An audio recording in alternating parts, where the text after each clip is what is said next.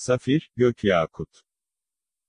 Korindonun kırmızı renkli olanları hariç bütün diğer cevher çeşitlerine verilen ad. Tek olarak safir kelimesi mavi cevher taşlarına verilen addır. Diğer renklerdeki cevherlerde sarı safir, pembe safir diye adlandırılırlar. Renksiz safirlere ise beyaz safirler denir. Konveks biçiminde kesildiklerinde yıldıza benzer biçimler çıkaran taşlara, yıldız safirleri adı verilir. Esası A12O3 bileşiğidir. Bazı renklerin sebebi bilinmiyor. Fakat bazı renkler, metal oksitlerden meydana gelmektedir.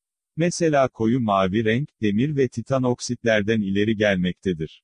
Cr2O3 ise, yakut rengine sebep olmaktadır. Sertliği yaklaşık 9, yoğunluğu 4'tür. Ufleçte erimez, erime noktası 2050 santigrat derece civarındadır. Mavi renkli olmayan diğer safirler, başka mücevher adlarıyla adlandırılırlar.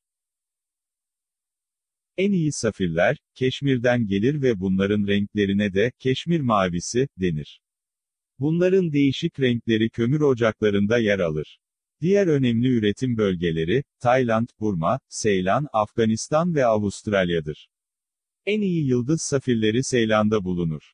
Safirlerin çoğu nehir yataklarından elde edilir. Suni safirler, 1902 yılında bir Fransız ilim adamı olan Auguste Vornel'i, sentetik safir cevherini yapmayı başardı. Bunun ana maddesi tozlu korindon, A12O3 idi.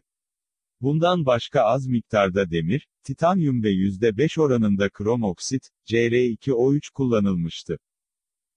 Yıldız safirleri ilk olarak 1947'de %1 oranında titan dioksit katılarak elde edilmiştir. Kullanılışı, safirler en çok mücevher olarak bilinirler.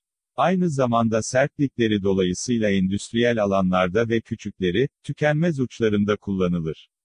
Elektriki özellikleri dolayısıyla elektrik aletlerinde, şeffaflığı ve sıcaklığa karşı olan dayanıklılığıyla da yüksek ısılı yerlerde pencere olarak kullanılır.